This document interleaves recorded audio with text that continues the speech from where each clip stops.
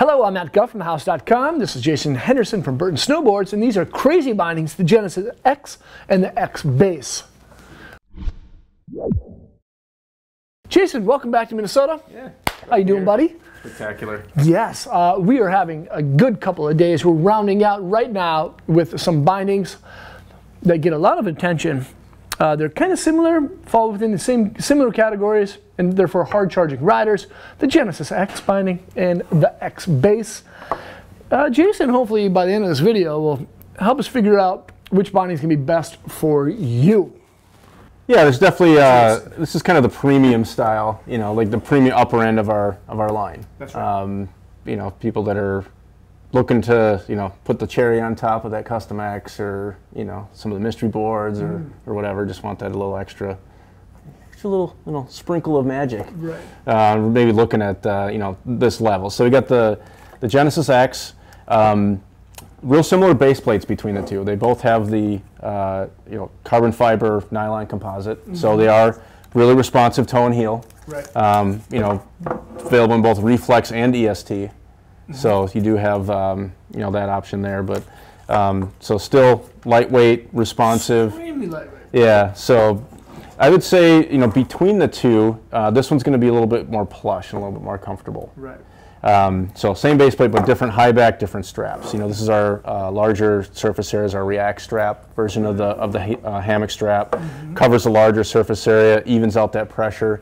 Uh, the material itself is a little softer. Okay. So it just uh, makes it, um, you know, again, just a little bit more, um, a little bit more movable. Like you know, things just move around in there, a little bit more user friendly. Right. Uh, and then also the uh, the hammock or the kickback hammock. So we got the you know nice stiff uh, supportive uh, you know external high back, but then the hammock you know wraps around the base you know wraps around the boot, moves with the boot until you you know kind of go and turn. That's where the external high back kicks in. Right. And now, is this a, a carbon or uh, fiberglass? This one is a uh, fiberglass reinforced nylon, kind of like the base plates in like a Mission you know or a Malavita. That's the same material in this external high back. Got it. But this one would be just a, a touch stiffer. So then, yeah, so this is kind of the like, you know, real streamlined. This is, you know, again, carbon base plate, but titanium hardware, uh, a carbon high back, you know, just a single component carbon high back, um, just really responsive, stiff, maybe not quite as many adjustments, but, um, you know, like we're kind of talked about in a couple other videos, it's just, you know, once you get it dialed in, it might take a little bit more to dial it in, but once you get it set, you know, you're golden. Um, but it does have the asymmetrical high, or uh, uh, the ASIM uh, ankle strap on there, so it does for allow for a little bit of movement in this way, but you know a little bit more responsive. Than, Yeah. You know, like like Jayson was saying, um, there are adjustments to keep uh, the straps centered down your boots. You can adjust uh, the forward lean, but uh, they're not quick adjusts. So it does, yeah, like you were saying, it does take a little bit more time to kind of dial those in. But once you have them set, you won't have to make any other adjustments. Uh, but with that, you get the, that titanium hardware that just kind of shaves off a little bit of weight. yeah, you knock out a few extra grams here and there with no, you know, forward lean adjuster, you know, or the, you know, the extra tabs, you know, going to titanium versus steel, you know, all that stuff, you know, kind of adds up. So, and especially like the EST version of this, you know, it's the single component. Um, but when you go to an EST binding, there's no, you know, there's half the screws. Right. uh, and there's no discs. So that immediately, and, and also with EST, you're replacing what normally would be a lot of plastic in here with uh, EVA, which is lighter than the plastic. So, you know, EST bindings are lighter than disc bindings. Right. Now, now is uh, the EST X Base the lightest adult binding? Yeah. It is, yeah. Yeah, I can see that. Mm-hmm. You know, it's it's a lot of fun when you get into the realm of these bindings. It's like going from your average, you know, sedan style car mm-hmm. into like a Audi A8L Yeah, or big race car. SL 550. You know, it's like a little bit more plush. There's some mm-hmm. additives. It's just a different kind of world of, of equipment that you'll find both in the Genesis X and the X Base. Like if you do really want, uh, you know, that lightweight appeal, like and you know, like when you're riding a lightweight board with lightweight bindings, and you, you sit on that chairlift for the first time, you let your board dangle, you know right away that there's something uh, much different.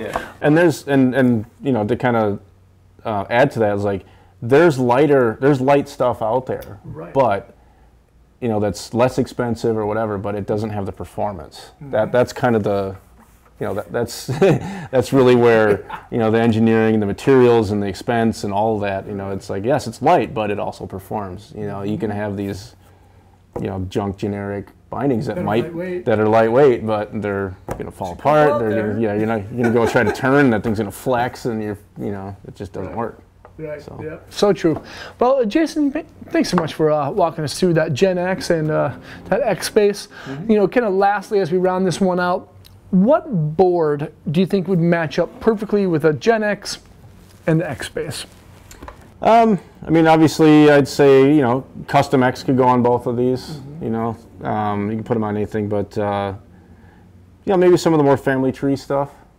You know, like Moon Buggy, or Right. you know, even uh, like Leaderboard, Hometown Hero. Cool. You know, then you know here, you know, a lot of if you want to really round out the mystery construction, like the you know the mystery fish and landlord and all Right. that. You know, like Right. you know that if you're gonna if you're gonna do yeah, Right. it's kind of like it's like if you're gonna buy this, you know, high end, you know, racing road bike, you know, might, you might as well put a, Right. put some good, some, put something good on it. You know, Yeah, just yeah. round it out nice. yeah. yeah. You know, it's funny. Every once in a while, you'll see that on hill. You know, you see someone with like a, a really crazy wild board, and then their their bindings and their boots, you know, like just don't match up to the personality mm-hmm. of, of the equipment. So make sure all the stuff matches up good. Cool. Jayson, thanks again, man. Thanks for having me. Yep. Thank you guys for watching. Uh, leave a comment or question. Let us know what you think of the Genesis X and the X-Base snowboard bindings by leaving a comment or question below in the description area. Otherwise, just get linked out and select these bindings uh, by the links below. Um, thanks for watching. Subscribe to the channel there. Check out more videos there, there, and hopefully we'll see you guys on snow. Bye.